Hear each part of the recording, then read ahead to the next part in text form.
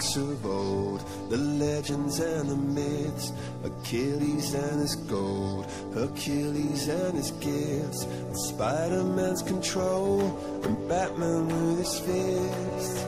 And clearly I don't see myself upon that list. But she said, Where'd you wanna go? How much you wanna risk?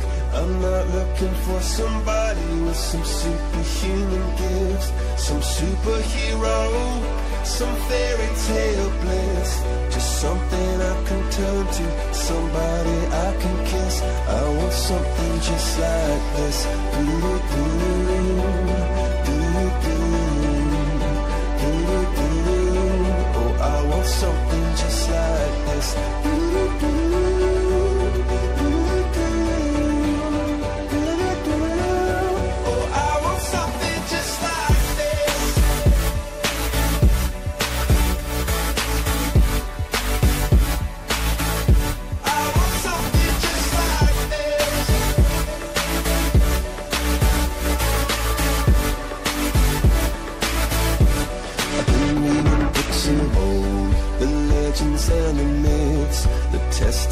they told, the moon and its eclipse, and Superman unrolls a suit before he lived. But I'm not the kind of person that it fits. She said, Where'd you wanna